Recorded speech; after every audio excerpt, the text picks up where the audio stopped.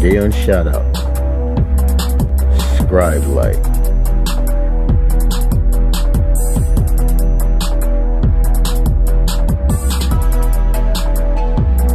Alright, what it do y'all? This your boy Pat coming at y'all once again and welcome to another episode of Shoutouts. And in this episode, we're shouting out Scribe Light. Now, I'm at Scribe Light, as you can see, you know, along with SDA and Rant Monkey through the live streams that they do on a daily basis, which I enjoy every time they have them. Be up in the live stream, you know, listen to them, you know, talk about, you know, today's issues, whether social or whether going on in the world today and all that right there and it just makes such an interesting topic because they sit up there and they put their salve on everything. But besides their daily streams, you know, Scribe his channel right there is like I don't know. He comes off of me as one of those philosophical, you know, like Aesop, you know, scholars, man. Like, you know, he gets really into like a issue and just tackles it head on. And when he's doing response videos, he'll basically like take what the people are like saying, you know, especially like when it comes to these little snowflake SJWs, what be trying to like um, sugarcoat what they be basically saying, but he'll just, you know, respond to it by, oh, so what you're saying is, you know, such and such and this and that. You know, he's actually saying what they're saying in secret code but he's just basically telling you out. And then he'll end it with, got it. Like I said, I like that right there. That should be your catchphrase right there. You should put that on a t-shirt, Scribe. but like I said, man, he has awesome, I mean, straight up awesome content. Like I said, if you haven't seen a stream with him, Rant Monkey, and SDA yet, where the hell have you been? They're one of the most excellent live streams out there, man. And I love them. I hardly miss anyone. If I do, I got to be busy or something with my children or whatever. But it's like, I haven't missed one yet. It's like whether it's on his, Rant Monkeys, or SDA's channel. But I digress. But to give y'all a little taste of what I'm talking about, you know, like, here he is, man. Scribe Light. One of the coolest people I've come to know, and I'm glad Rant Monkey, you know, recommended me to you, man. Keep doing what you're doing. But anyway, this your boy Pat is always saying peace. And I'm out. The scribe. Toy Soldiers. Executive Decision. Invasion USA. The Peacemaker. True Lies. Air Force One.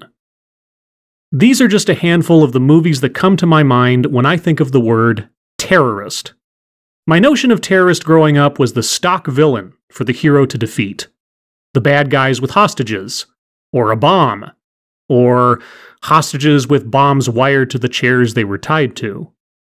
For every cheesy action movie, there was a terrorist plot, and there were more terrorist plots on screen than really happened in the real world. As I got older, of course, my cartoonish notion of what movie terrorism was, compared to real terrorism, faded quite a bit. But still, the notion of grand, elaborate, supervillain scale plots remained the stuff of Van Damme and Schwarzenegger. And then, as it did for all of us, came 9 11. That day, I thought I was watching a movie. It couldn't be real, after all. That kind of destruction? It had to be a special effect. And now it is mid 2017.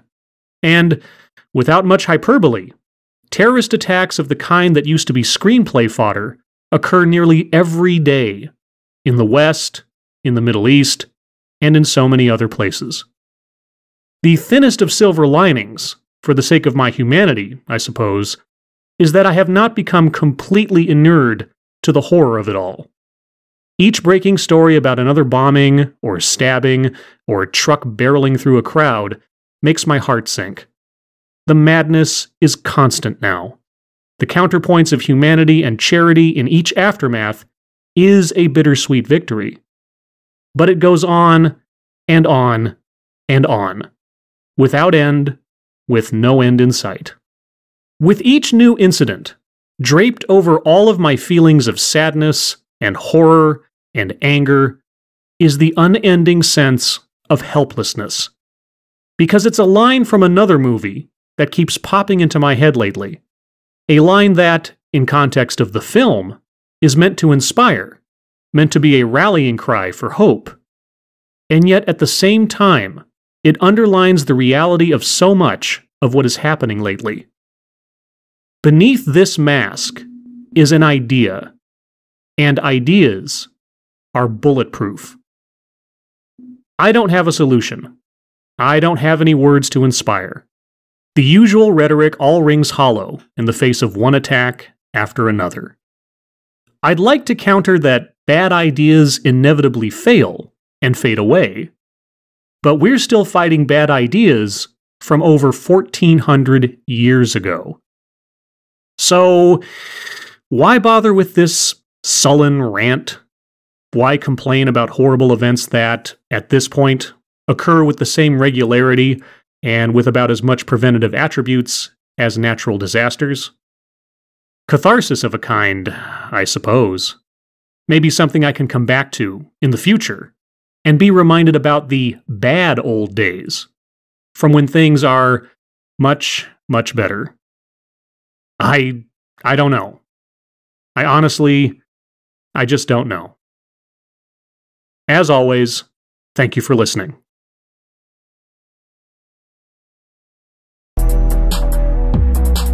Next time a shout out. Rat and monkey.